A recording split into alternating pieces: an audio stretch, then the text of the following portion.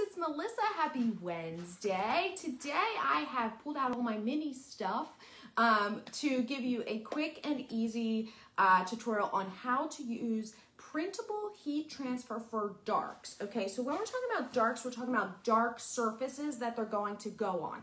So there are two different products. I typically use the StarCraft brand. You've heard me talk about StarCraft before. Um, so they have an inkjet printable material. There's two types. One is for darks and one is for lights if you're gonna put it on something light. So the other day I showed you um, how to use the inkjet printable for lights, which is literally an ink transfer. So you're printing in reverse and you're turning it over and then you're peeling off the paper where the ink is then kind of infused into the fabric. You can't do that for darks because if you try to infuse the ink, you won't be able to see it. So literally you need to make a transfer and place it um, just like heat transfer vinyl onto your design, okay? So today we are using inkjet printable for darks, okay? I added the link up top um, for you and I'm gonna show you how to do this. This is literally, all it is, is a print and cut, okay? So instead of printing and cutting on paper or sticker paper, you're gonna, you're gonna print and cut on a sheet of StarCraft printable for darks, all right? So you need to print in the correct orientation, okay? So don't turn it in reverse and you need to add registration marks. I can see a bunch of comments coming and I can't see far enough to see what you're saying, but hopefully I'll answer your question. Now, one trick that I sometimes like to do because this paper is white, so when you do your transfer, and I'm gonna do this from start to finish in a second, but I just wanna give you an example here. When you do this and then you cut it, what you sometimes end up with is a very small white border around the edge. You may not be able to see this, um, but if I put this on my dark surface, you can see there's a white edge around there, okay? All right, so, and also all the links for everything that I'm using are up top, including this design, which is part of the September so Fontsy bundle, which ends today, okay? Comes with a free Halloween bundle as well if you buy it today. Anyway, you saw it has white. So what I like to do is I actually put a block or a square. I just draw a square in Silhouette Studio um, and fill it with the same color as my background. So for this, it's gonna be black. So now, if I cut, and there's any little edge that's showing, what it's gonna do is it's gonna be black and when it's on your surface, you won't be able to see that. So that's what we're gonna do today, okay? So I'm gonna turn you over here a little bit. We're gonna print, start this from, we're gonna do this from start to finish. Okay, so I have my inkjet printable sheet. You wanna print on the front side. This is a lined material. Okay, so I'm just gonna put it in my printer, which I've got a lot of stuff going on over here, but put it in my printer. Okay, this is an inkjet printer, not laser, not sublimation, just an office home printer. And from Silhouette Studio, I am going to click the printer icon at the top of Silhouette Studio. I'll be able to show you this in a second. And then I'm going to tell it that I want it to print. Okay, I'm actually just gonna pick um, auto select paper, you, you know, do your normal. If you get too much ink, sometimes it kind of scrapes off, so I just like to use normal for this a lot of times when I'm doing a print and cut and I want high quality like stickers, I'll do best. Um, but for this one, I'm just using auto select and normal, okay? And then I'm gonna print. Now, I don't, hopefully you can see this. It's got my printer box coming up. But what you can see is I have this black box around here. But what's going to cut is only around the pumpkin and the sunflowers, okay? So this is going to print out here in a second. It takes, as you know, printing can, can take a couple of minutes um, to process, but I like you guys to see the whole thing. So while you're waiting for that, your heat press should be at 350, I had to remind myself, 350 degrees, and you're gonna press for 30 seconds. This brand of paper is StarCraft for darks, okay? I included the link to the 25 pack up at the top. There's also a 10 pack. Um, that you can get. All right, so here's what you have. All right, okay, so this is what I'm doing. My design is obviously just the, the pumpkin and the sunflowers. If you're just coming in and wondering why I have a big black square around, it's so that if I, when I print and cut, or when I cut, if I get a slight you know, edge, that black edge will be on here instead of it having a white edge around, okay? All right, so now we are going to do the cutting part. I'm gonna bring you down here. I'm literally just, I'm using my um, portrait today, okay? So just gonna put this on here. All right. It's Bluetooth, so I'm able to have my computer on the other side. Um, and I'm gonna cut, okay? So the cut settings for this, which I'm using, um, I can come over here so you guys can see me a little bit better.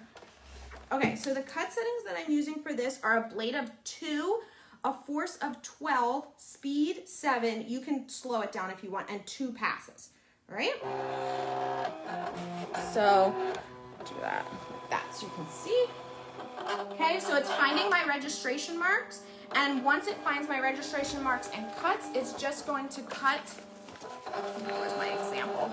Going to cut right around my pumpkin and I'm going to end up like this. And then I can peel it up like a sticker or peel that back.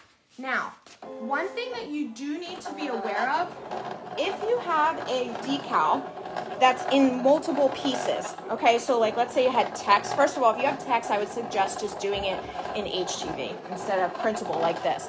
But if you had pieces that were multiple, you're gonna need some kind of a mask to pick it up, a transfer sheet. You can use an old transfer sheet from your Siser EasyWeed, something like that, but you will need something to help pick it up. Um, so while this is printing, I'm getting ready. This is the sheet that comes with StarCraft. We'll use it to help protect our, our um, towel.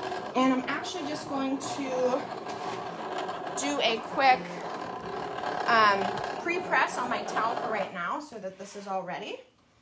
Okay.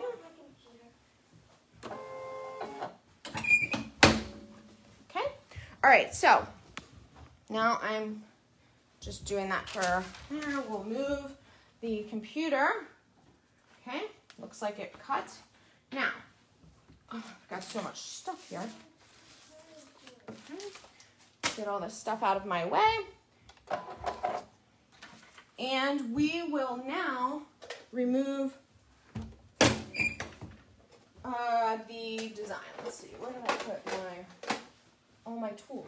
Okay, here we go. Okay, so what we're gonna do now is literally just weed this up. You can try to weed away your design if you want, but be very careful if you do it that way, as you can some you can kind of scrape the ink, see? So my suggestion instead is to pull this apart. Now, you're gonna say, Melissa, you're wasting. I'm wasting. I know, I know. That's kind of part of it. So if you're gonna do more than one, I would put them all on the same sheet. Now, what I want to point out here is that you'll be able to see that I have a slight black edge because of the print and cut, okay? So the reason, again, that I did this is so that when I place this on my towel, my black towel, that edge is black, same color as my towel, instead of white, which would be way more obvious. Okay, so it will not even be noticeable on my towel. All right, so here's my decal. Okay. All right, we can move this out of the way now. And I'm gonna, whoops, put this down.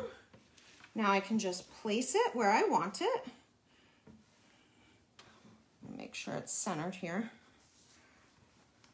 Okay.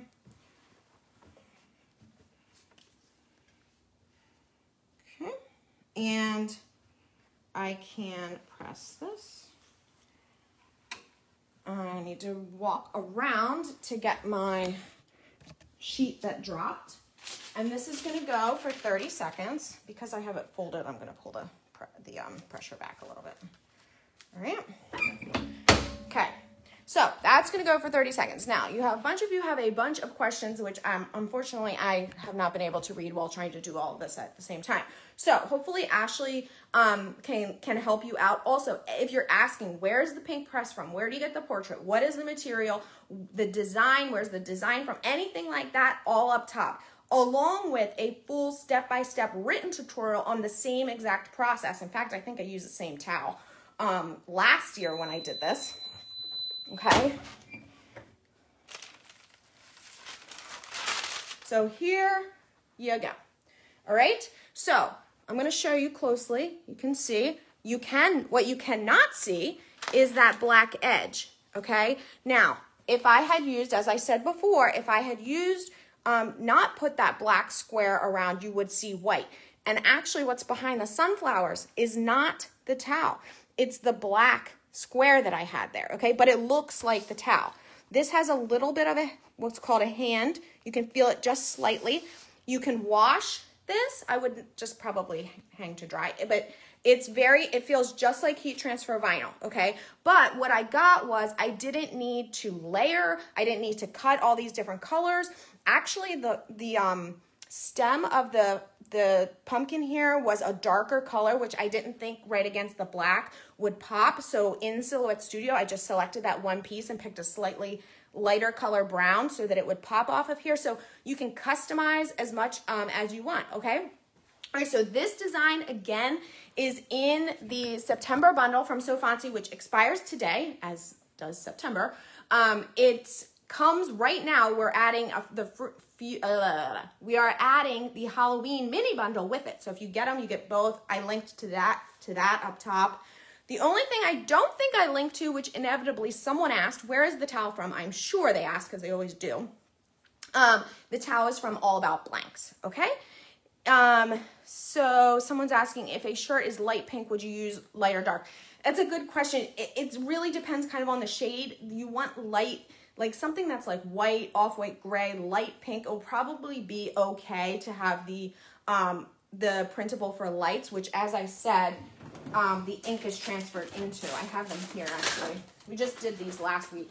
This is the same, this is the StarCraft for lights. Okay, I used that and put them on wood. That is literally an ink transfer as opposed to what we did here where you're cutting the decal and applying it on. Okay, so two totally different processes. Please, please, please don't get um, confused because if you use the material the wrong way, it's not going to work. Okay? All right, you guys, I hope you have a fabulous day and I'll see you soon.